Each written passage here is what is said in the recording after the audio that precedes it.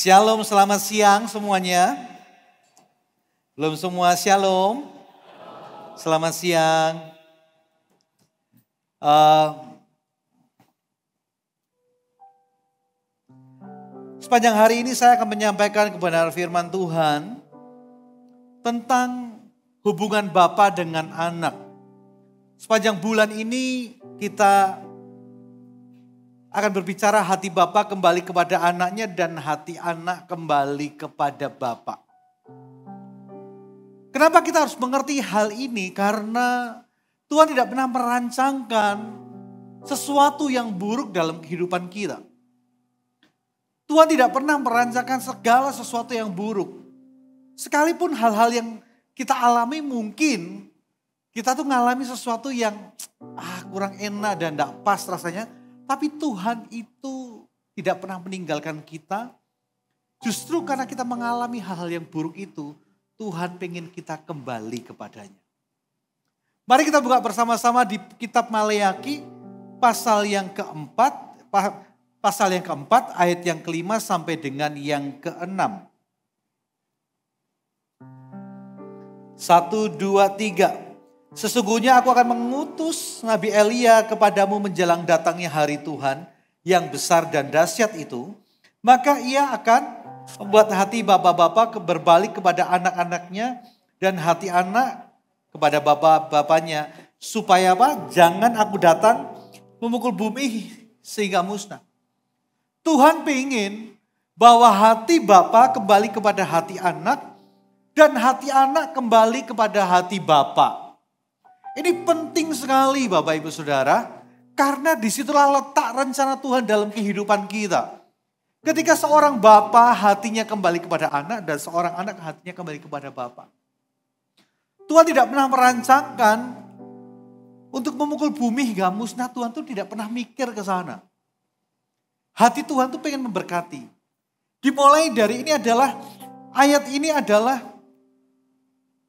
uh,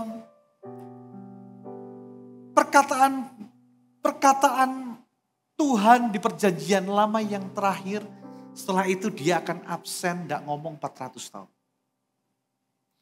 Jadi dua ayat yang kita baca ini sangat penting sekali. Karena setelah itu Tuhan silent mode 400 tahun. Penting banget.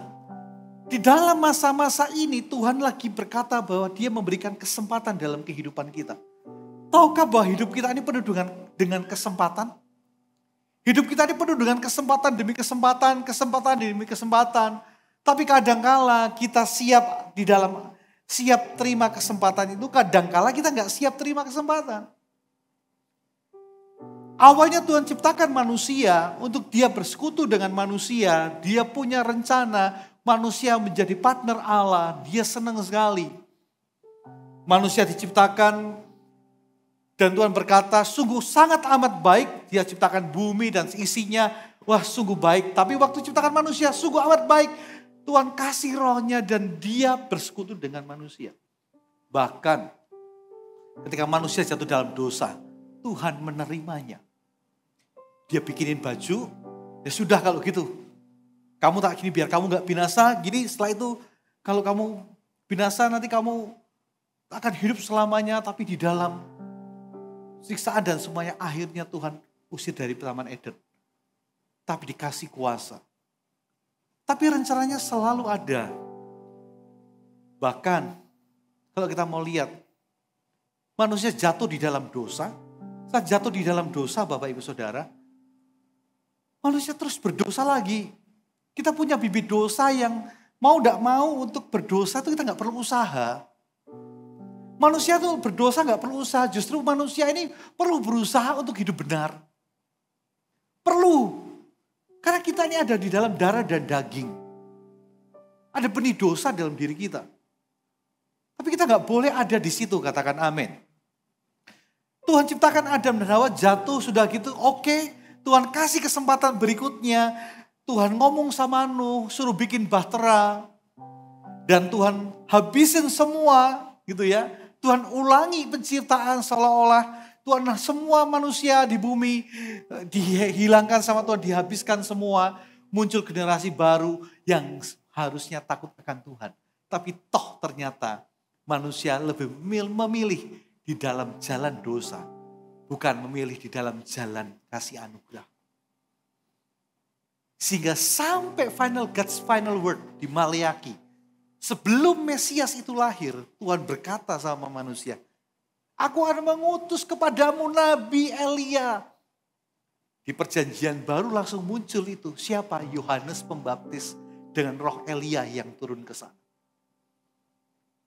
Tapi manusia itu selalu punya kesempatan-kesempatan untuk kembali sama Tuhan. Untuk masuk ke dalam jalan berkat. Bukan jalan Tuhan akan binasakan bumi. Tapi Tuhan memberkati bumi. Tuhan pengen kita ada di dalam jalan itu bukan di jalan yang lain. Untuk itu Tuhan perlu memulihkan hubungan itu dulu. Tanpa kita bisa mengerti, mengalami kasih di dalam keluarga, kita sulit mendeskripsikan tentang kasih Tuhan kepada kita.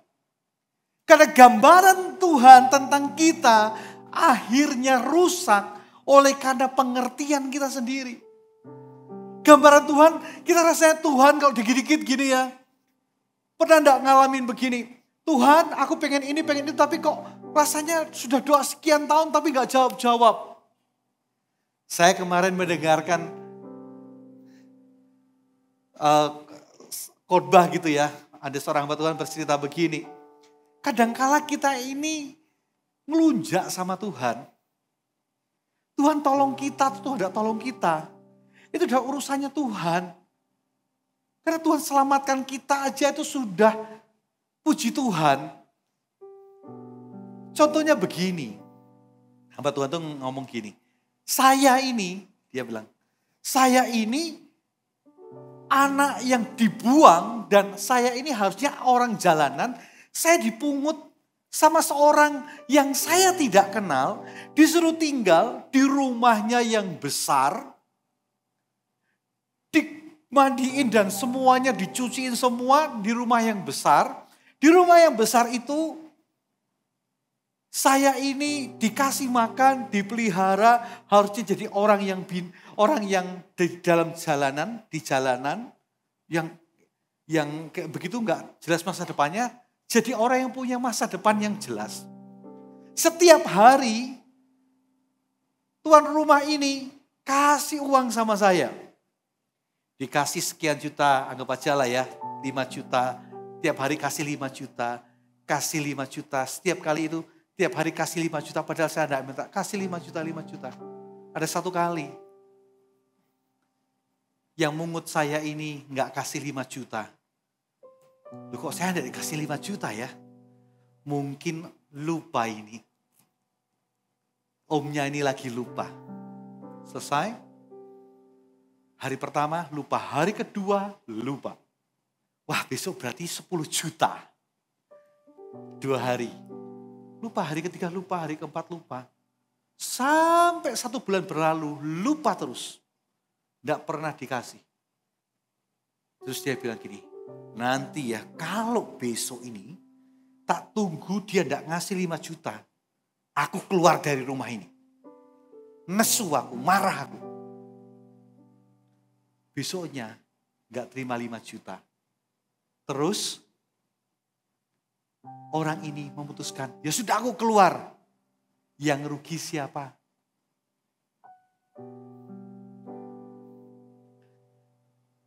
Orang ini tinggal di rumah, punya masa depan yang baik, tiba-tiba marah gara-gara nggak ditolong, nggak terima berkatnya terus yang tiap hari diterima, finally marah.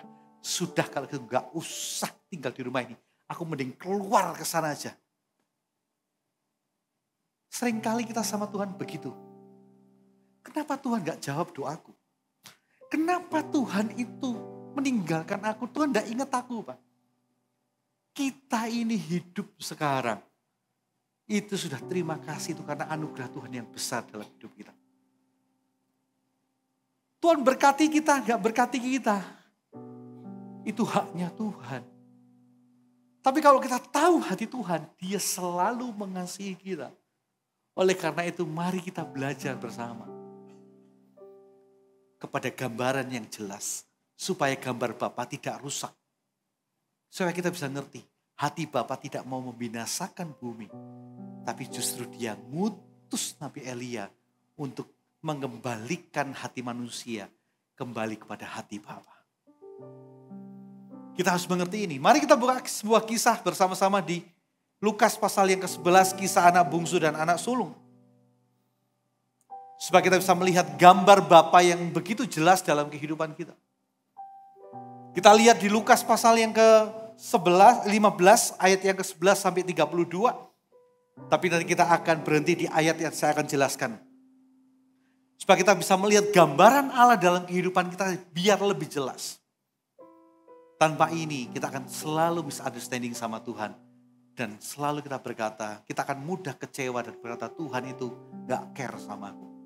Tuhan itu pilih kasih. Tuhan itu gak sayang sama aku.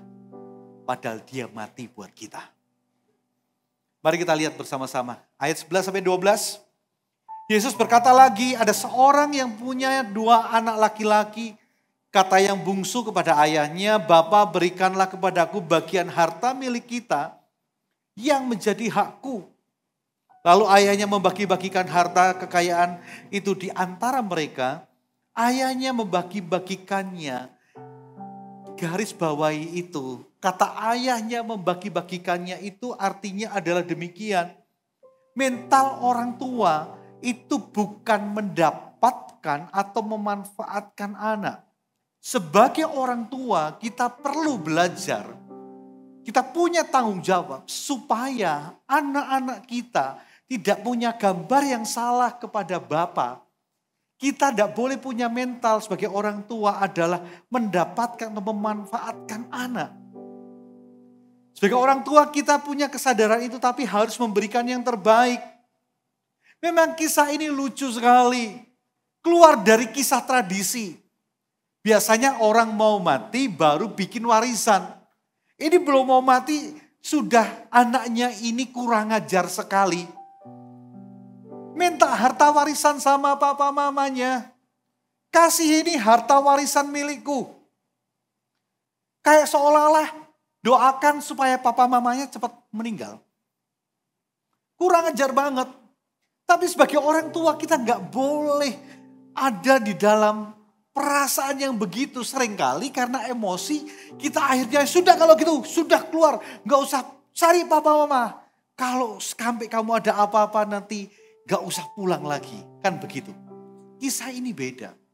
Tapi kita belajar bahwa orang tua tidak boleh hari ini dalam tanda kutip dikuasai oleh amarah anak tetap anak kadangkala jengkelkan kadangkala Ya bikin ulah tapi nggak apa-apa wong namanya anak-anak. Ngapain kita yang sebagai orang tua kita menuntut anak harus begini, begini, begini. Yang penting jangan gagal jadi bapak. Kita nggak boleh manfaatkan anak kita untuk memperoleh sesuatu dari mereka.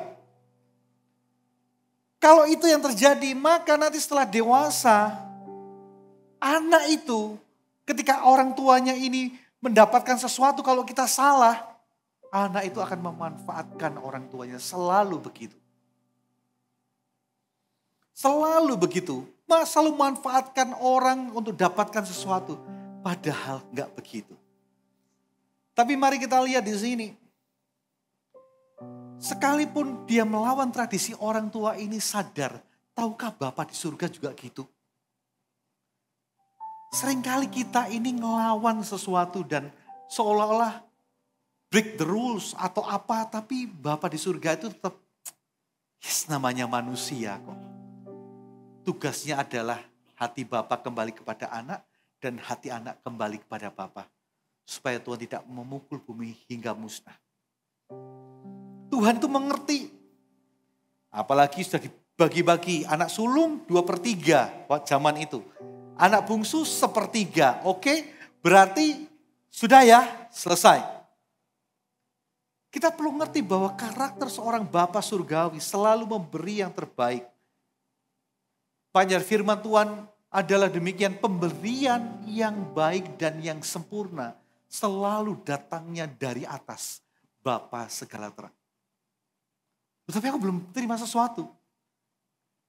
tunggu saja. Hidupmu itu adalah pemberian terbaik. Nafas kita ini adalah pemberian terbaik. Katakan amin. Dan hikmat orang tua, kita jadi mengerti hari ini. Kalau Bapak di surga itu selalu memberikan yang terbaik. Berarti hikmat kita bagi papa mama. Hikmat sederhana.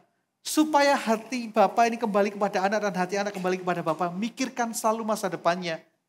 Jangan tinggalkan hutang untuk anak kita. Jangan tinggalkan hutang untuk anak kita. Ya hutang papanya yang bayar anaknya. Wait, jangan begitu. Sebagai orang tua kita punya tanggung jawab. Warisannya bukan hutang. Tapi warisannya adalah iman dan nama baik. Kita perlu belajar sebagai orang tua, kita harus mewariskan iman dan nama baik pada orang tua kita.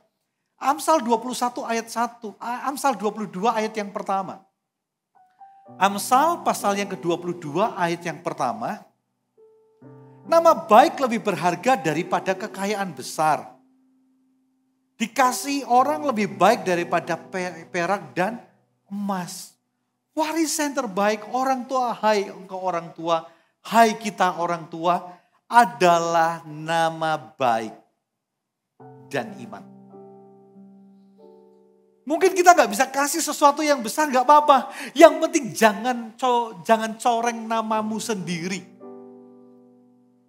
Hiduplah dengan saleh, hiduplah dengan takut akan Tuhan.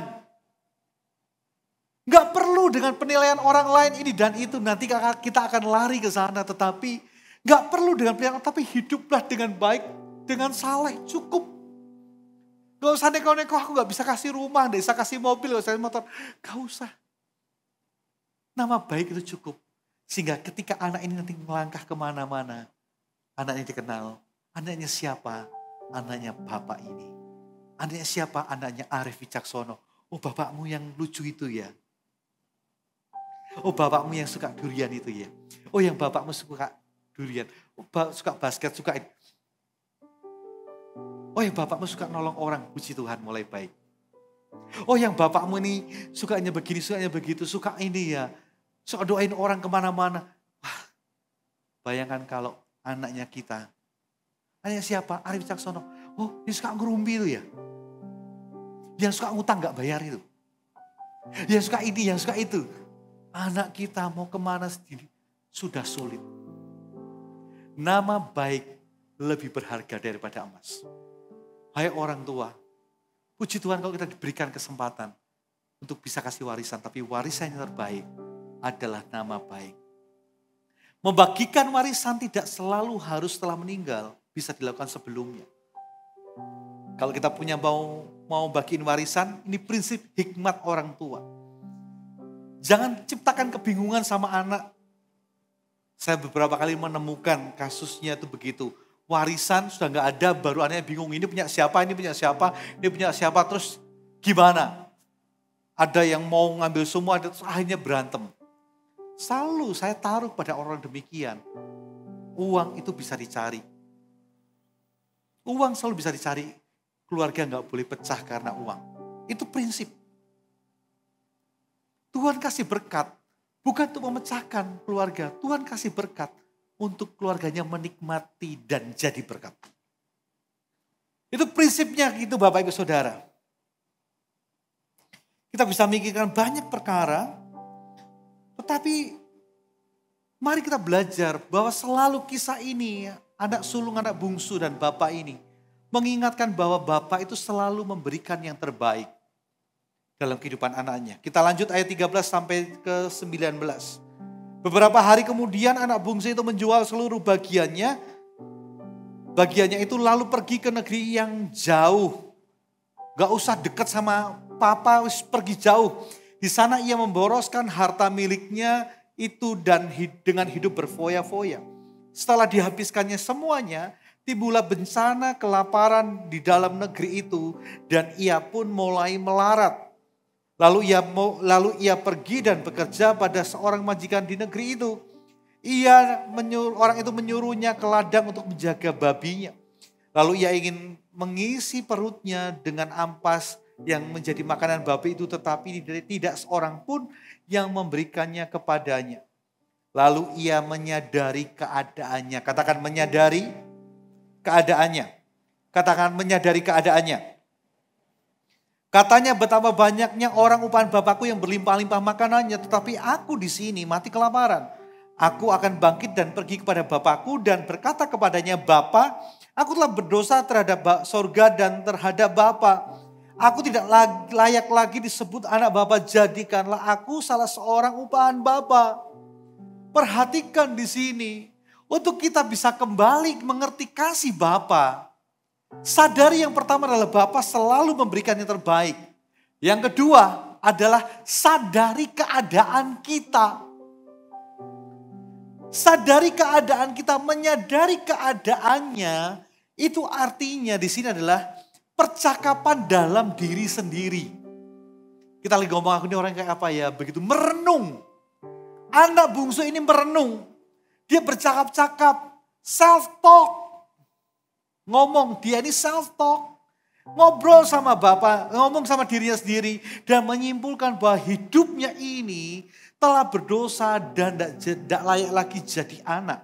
Lebih cocok jadi hamba atau upahan. Kok bisa ya?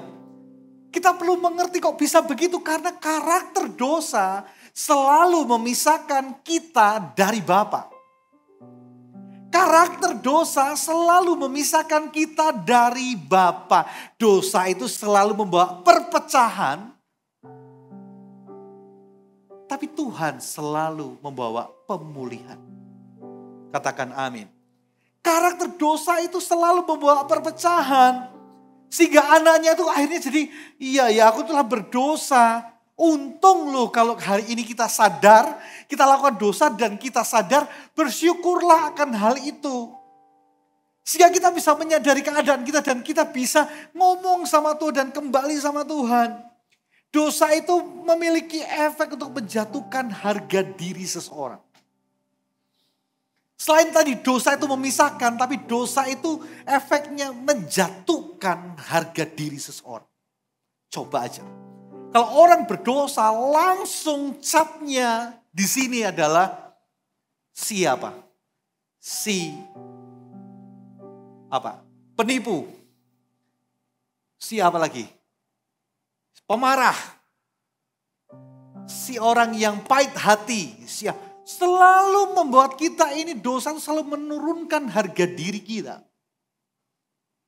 Dosa itu selalu menarik kita ke bawah, menurunkan harga diri. Padahal diri kita ini sangat penting. Diri kita ini sangat penting.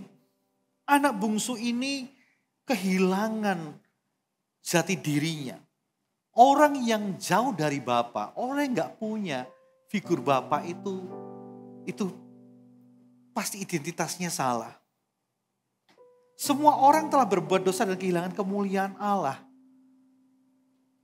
Ingat itu dan kita jadi ngerti hal ini. Anak bungsu meninggalkan rumah sebagai anak dan kembali sebagai seorang yang merasa layaknya jadi hamba. Kok bisa ya? Kok bisa ya? Waktu saya merenungkan ini, anak bungsu itu perginya anak, pulangnya gak jadi anak, jadi hamba aja cukup. Ya seperti gini, di mata Bapak anak tetap anak. Katakan amin. Di mata Bapak anak tetap anak. Tetapi karena dosa menurunkan harga diri seseorang sehingga dia merasa tidak layak lagi jadi anak. Amsal 23 ayat yang ketujuh ngomong demikian. Sebab seperti orang membuat perhitung, perhitungan dalam dirinya sendiri, demikianlah ia. Kalau kita sudah merasa kita ini hamba, ya sudah demikianlah kita. Kita ngerasa ya sudah begini hubungan kita harus jadi jauh dan semuanya. Padahal tidak demikian. Tidak ada orang yang menurunkan harganya. Tapi orang ini menurunkan harganya sendiri. Tuhan tidak pernah turunkan harga kita. Yang yang yang yang menurunkan harga kita cuma kita sendiri.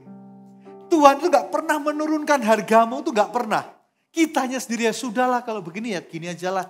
Langsung kasih meteran. Segini aja. Padahal Tuhan tidak pernah kasih itu. Tidak pernah ada orang yang menurunkan harganya tapi dirinya sendiri. Banyak orang memotong harga dirinya dan menilai dirinya sangat rendah. Bahkan tidak punya visi dalam hidupnya. Orang yang gak punya visi dalam hidupnya dan dia merasa rendah karena dia tidak kenal siapa bapaknya. Tidak kenal siapa bapaknya. Akibat dosa membuat kita kehilangan kemuliaan Allah dan rusaknya gambar diri. Ada ada beberapa tokoh Alkitab yang juga rusak gambar dirinya. Yang saya ingat adalah Musa. Ketika Musa ini bunuh orang dan semuanya dia lari kemudian. Terus dia mengembara di sana. Terus Tuhan tanya sama Musa dan mengutus Musa untuk dipakai Tuhan. Musa berkata sama Tuhan, berkata dari siapakah aku ini Tuhan? Aku suruh pimpin gini bangsa Israel ini. Siapakah aku ini? Langsung bukan cuma hanya siapakah aku. Gambar dirinya rusak tetapi dia juga ngomong demikian. Aku nggak pandai bicara.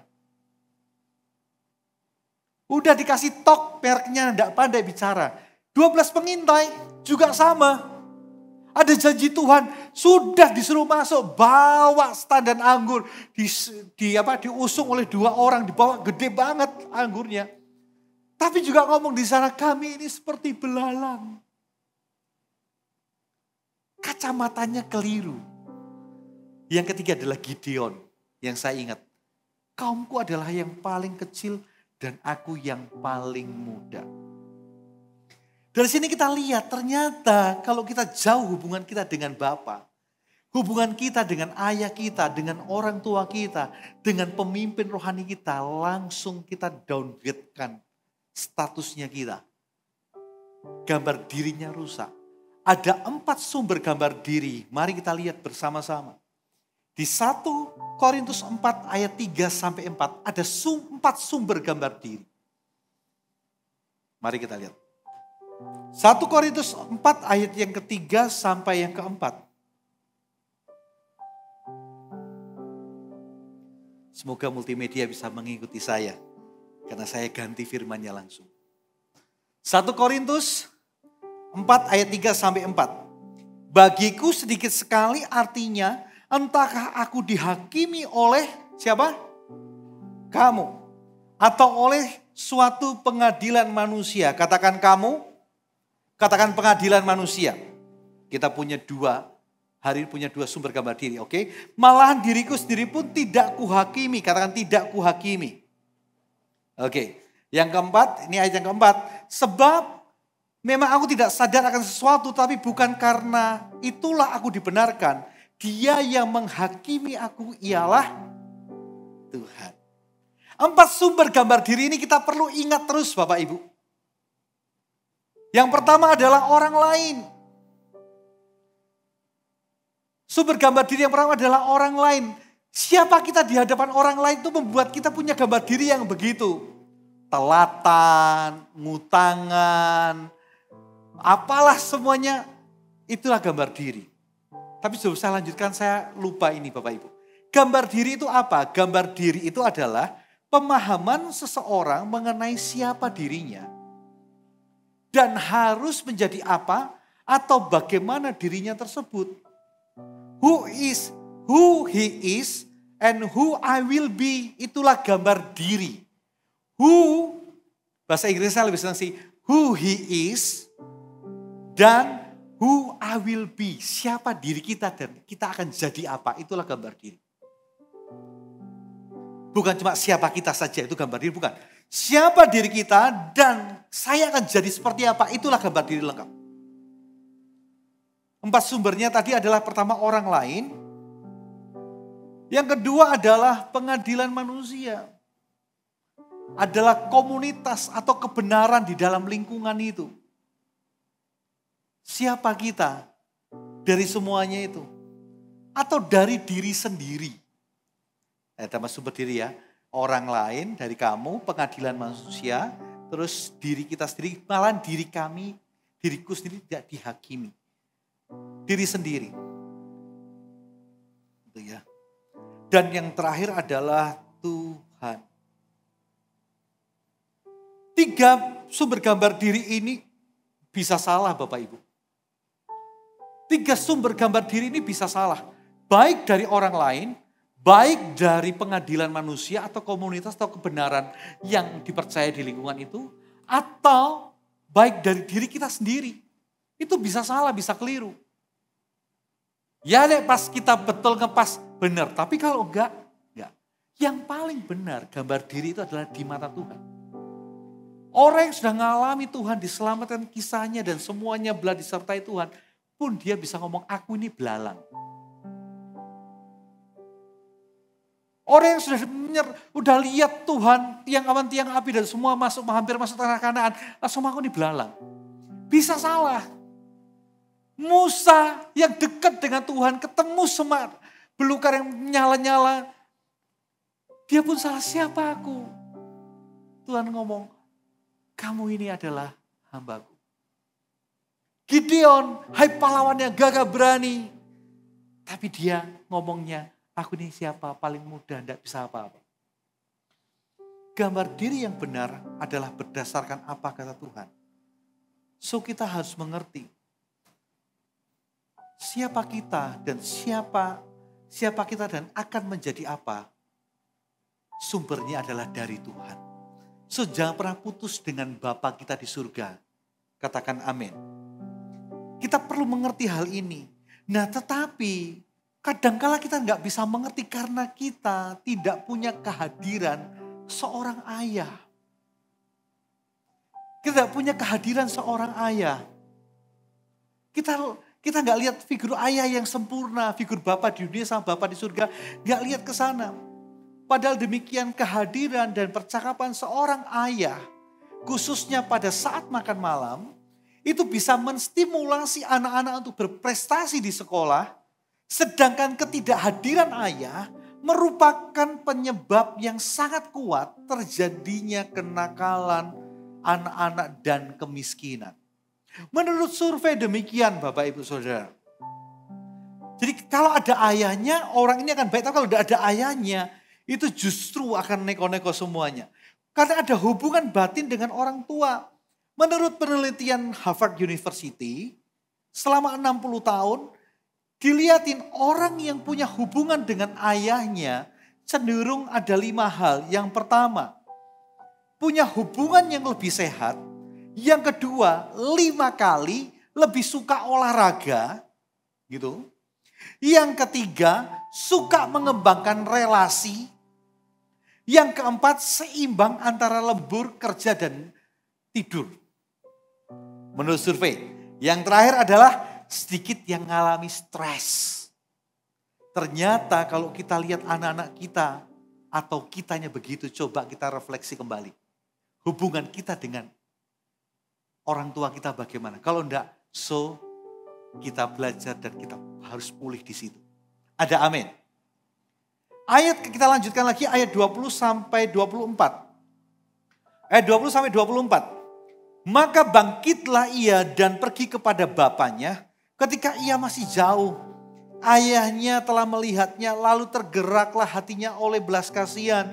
Ayah itu berlari, berlari mendapatkan dia lalu merangkul dan mencium dia. Kata anak karena kata anak itu kepadanya, "Bapak, aku telah berdosa terhadap Bapak, terhadap surga dan terhadap Bapak. Aku tidak layak lagi disebut anak Bapak." Tetapi ayah itu berkata, kepada hamba-hambanya, lekaslah bawa kemari jubah yang terbaik, pakaikanlah itu kepadanya dan kenakanlah cincin pada jarinya dan sepatu pada kakinya, dan ambillah anak lembu tambun itu, sembelilah dia dan marilah kita makan dan bersuka cita, sebab anakku ini telah mati dan menjadi, dan menjadi hidup kembali, ia telah hilang dan didapat kembali. Lihat responnya Bapak ketika anak ini sudah self-talk, dia menyadari keadaannya dan dia sudah melihat gambar diri yang salah. Respon papanya gimana coba? Dia berlari, merangkul dan mencium. Ayahnya datang mendekat kepada anak yang terhilang tanpa keberatan tentang bau badan, pelanggaran, perbuatan kurang ajar, semuanya Itulah karakter Bapak kita yang di surga. selalu menerima kita apa adanya. Seberapapun kita jauh, seberapapun kita kotor, bukan Bapak pengen kita kotor, keputusan kita lah yang menjadikan kita kotor. Dan kita gak mau untuk dibersihkan, kita gak mau dibawa pulang karena karakter dosa adalah menurunkan identitas seorang. Karakter dosa selalu membawa orang pergi jauh daripada Tuhan.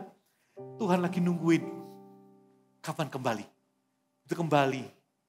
Dia rangkul itu, dan yang paling-paling seneng saya waktu baca dan saya selalu terharu waktu baca ayat ini adalah waktu bapaknya bilang aku telah berdosa terhadap surga dan terhadap Bapak. Aku tidak layak disebut dengan anak Bapak. Respon Bapak. Dia tidak ngomong, sudah sadar lu. Bapak di surga tidak pernah ngomong, udah sadar, udah mau pulang, makanya tobat. Gak gitu. Bapa di surga tidak pernah mengingat kembali kesalahan kita. Dia justru malah siapin jubah yang terbaik. Di sini dikatakan, siapkan jubah yang terbaik. Sampai sandal, cincin, semuanya dikasih kepada mereka, kasih kepada kita. Sebelum anaknya selesai mengucapkan penyesalan dan meminta dijadikan hamba, ayahnya motong pembicaraan dan segera mengembalikan jati dirinya si bungsu itu dipulihkan dan diangkatnya jadi anak bukan hamba. Ayah tersebut ngomong sama hamba-hamba yang lain, eh tiga benda penting ini. Tiga benda penting ini harus kita ngerti. Karena sebagai orang percaya tiga hal ini dipulihkan kepada kita. Yang pertama adalah jubah. Jubah itu sebagai simbol harga diri atau dignity Jubah itu adalah harga diri atau dignity. Jadi kita ini dikembalikan lagi harga diri. Kamu nggak gitu. Jangan jangan anggap diri musuh kamu ini di sini loh. Harga dirinya dipulihkan. Berikutnya adalah cincin yang ngomong tentang simbol otoritas atau authority. Dan sepatu adalah tentang kedudukan atau status. Sebagai orang tua kita perlu belajar begini Bapak Ibu Saudara. Sepanjang hari Tadi pagi saya ceritakan tentang parenting Yakub bagaimana. Seru sekali, ibadah satu, ibadah dua punya rema yang berbeda. Ibadah kedua saya pakai ilustrasi cermin dan semuanya. Seru banget. Tapi ada satu yang sama. Hikmat sebagai orang tua, kita tidak boleh beda-bedakan anak. Sebagai orang tua kita tidak boleh membeda-bedakan anak. Anak ini yang nakal, anak ini yang muda, anak ini yang begitu, anak ini mudah dikoreksi, anak ini yang mudah diajar, anak ini yang badal nggak boleh. Semua adalah anak kita. Yang sebagai orang tua kita belajar yang namanya penerimaan. Karena penerimaan itu menjadi fondasi utama dari dalam parenting. Dalam parenting itu adalah penerimaan, terimalah dulu. Seringkali kita gagal me, kita gagal mendidik anak karena kita selalu menuntut dulu. Atau enggak cuma hanya mendidik anak tapi selalu ngomong tentang hubungan. Kita ini gagal dulu, kita selalu ngomong menuntut dulu bukan menerima apa adanya. Ya sudah, enggak bisa berubah anakku begini ya sudahlah. Aku enggak ngapa-ngapain ya sudah. Ya sudahnya kayak menyerah dan skeptis. Hubungan yang dibangun seperti itu tidak mungkin kuat. Pasti terjadi kesenjangan satu dengan yang lain. Karena apa? Hubungannya sudah ada blok-bloknya. Dan kita belajar hari ini, ternyata Tuhan tidak mau begitu. Penerimaan adalah fondasi hubungan dalam segala hubungan. Koreksi disiplin adalah hal yang sangat penting namun bukan untuk mencacati diri gitu ya atau melampiaskan emosi atau menjelekkan pribadi tapi kita harus ngerti pisahkan antara perilaku yang perlu diubah sama cap kepada anak kita cap kepada bukan anak kita atau kepada siapa orang-orang yang mungkin papa kita mungkin karena hubungan Bapak kepada anak, anak kepada bapak. Dua-dua Nggak cuma hanya satu sisi. Ibadah kedua saya bilang, hati Bapak kembali kepada anak dan hati anak kembali kepada Bapak.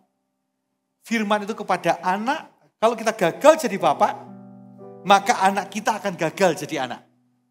Tapi kalau kita benar jadi anak, kita akan benar jadi Bapak. Kalau kita benar jadi anak, kita tidak akan pernah gagal jadi Bapak. Tapi kalau kita gagal jadi anak, kita akan gagal jadi Bapak. So firman ini penting sekali buat kita. Hubungan itu nggak cuma hanya tuding bapaknya dulu, inisiatornya harus bapaknya.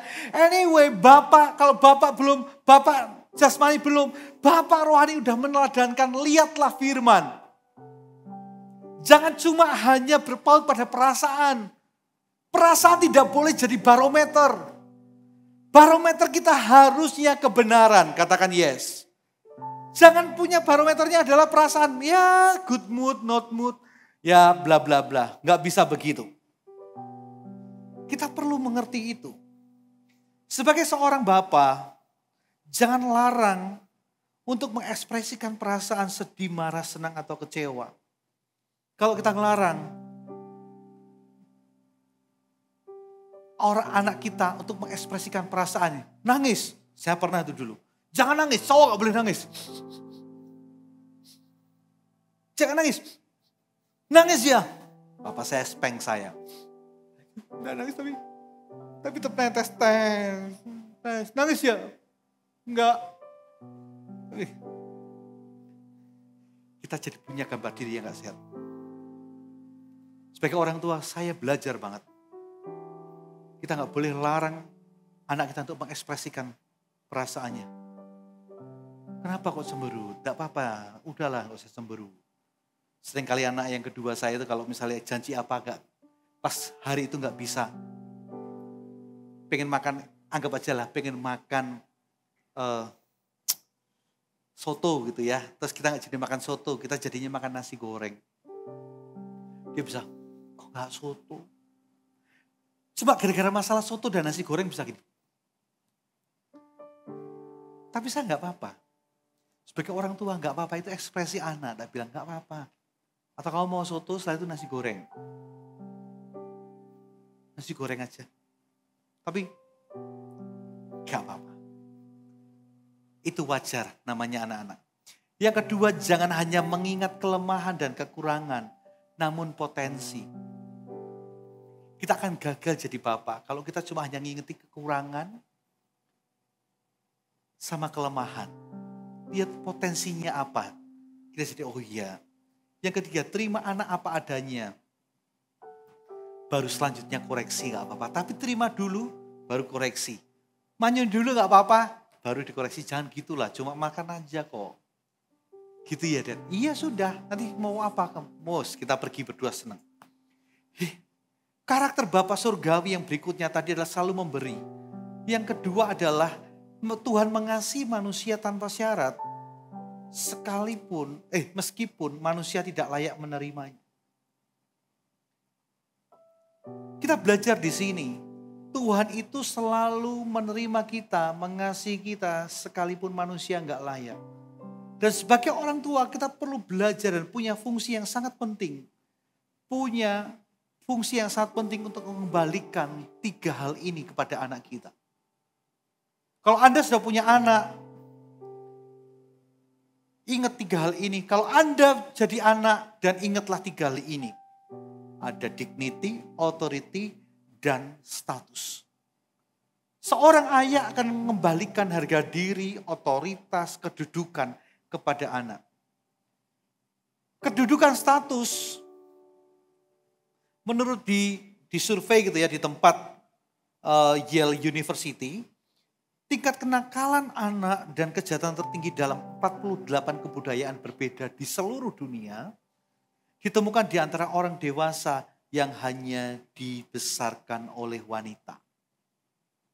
Orang itu akan bermasalah dengan kedudukannya.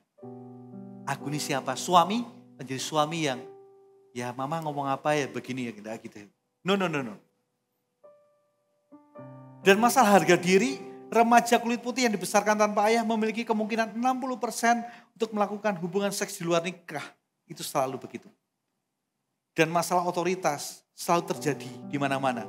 80% orang memiliki emosional problem. Berasal dari keluarga tanpa ayah. Enggak, enggak apa-apa. Padahal punya. So, penting banget untuk kita bisa mengerti hati Bapak.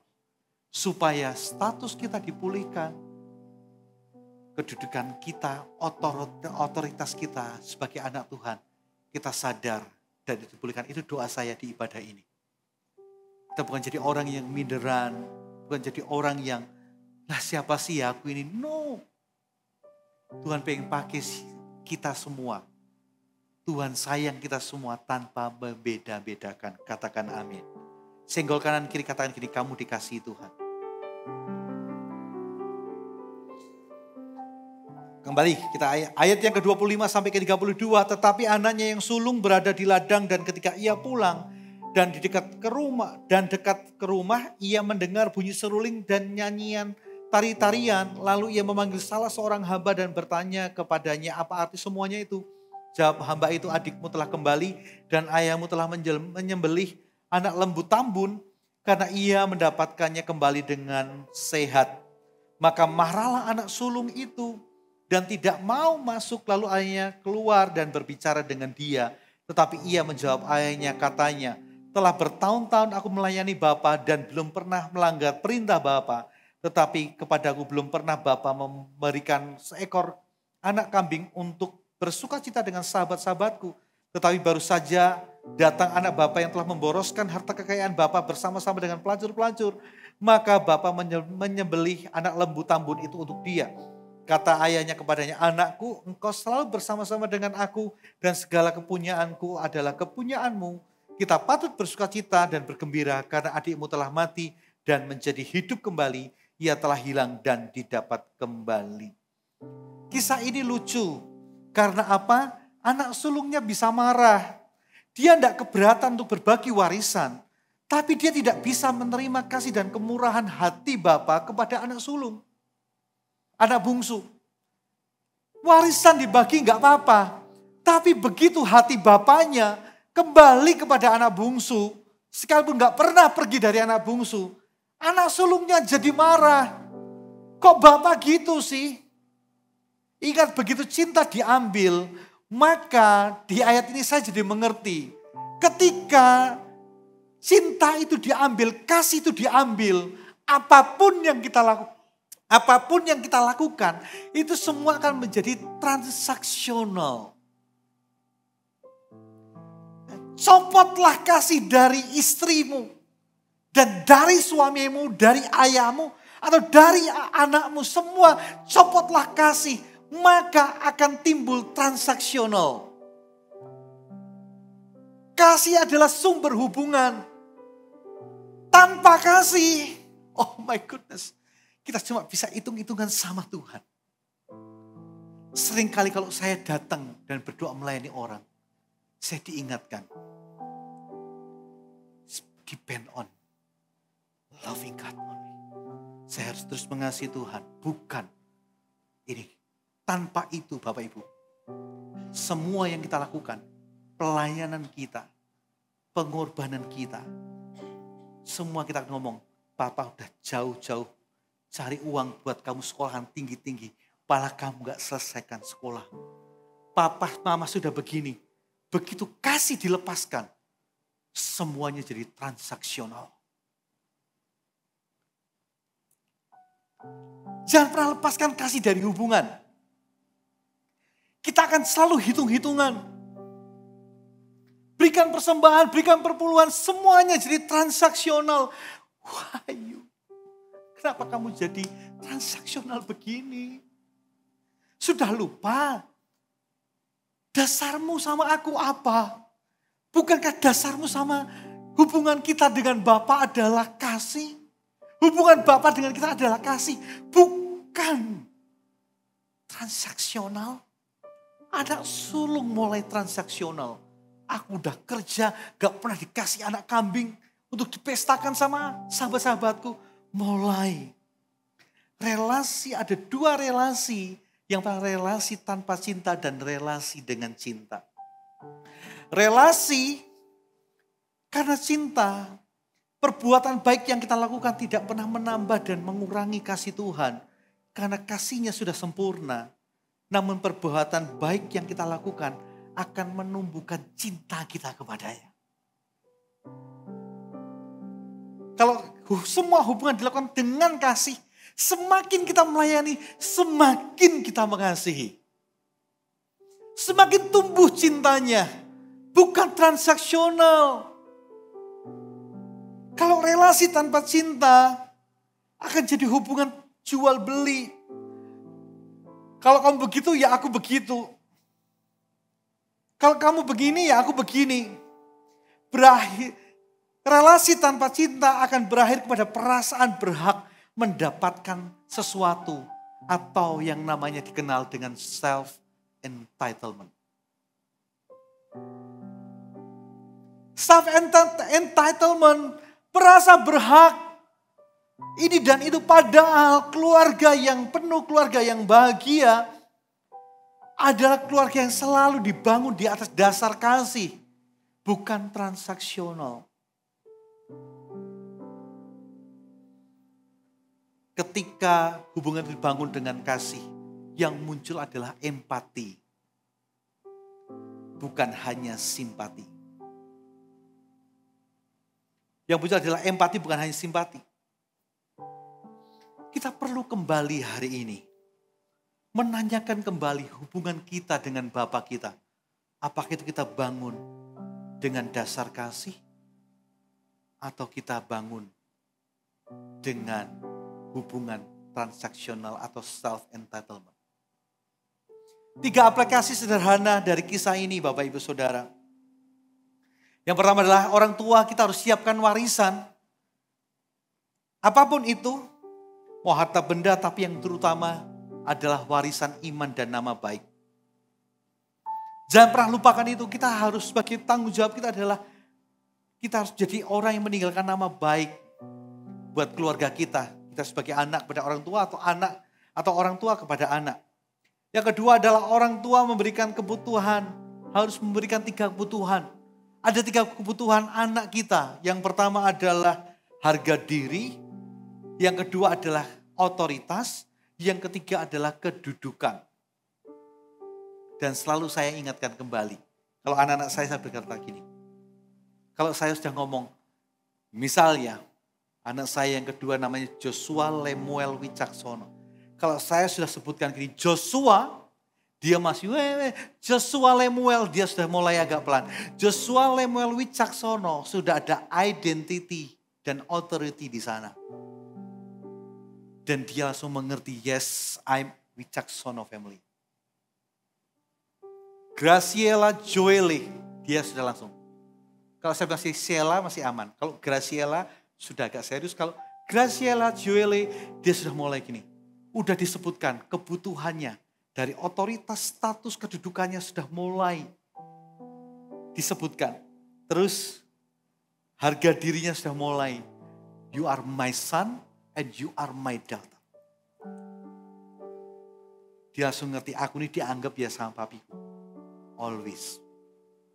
Seburuk-buruknya kau, kau tetap anak di mami. Dan saya tidak bedakan Sheila atau Joshua. Tapi if I say Wicaksono, mereka langsung tahu dignitinya mereka. Who is Mr. Wicaksono? Langsung semua kumpul. Datang. Kebutuhan hai orang tua, ingat ini. Identitas, status, otoritas. Yang ketiga, orang tua mengasihi anak janganlah berdasarkan keberhasilan atau kegagalan, namun statusnya sebagai anak. Jangan jadi self entitlement. Apa pun yang kita lakukan adalah karena kita mengasihi mereka. Jangan lepaskan kasih dari hidupmu. Semuanya akan jadi transaksional. If you loving our family atau siapa pun orang yang kita kasihi, jangan transaksional. Taruhlah kasih di situ. Maka semua yang dilakukan lebih ringan, lebih enak, dan lebih membawa sukacita. Ada amin. Siapa diberkati?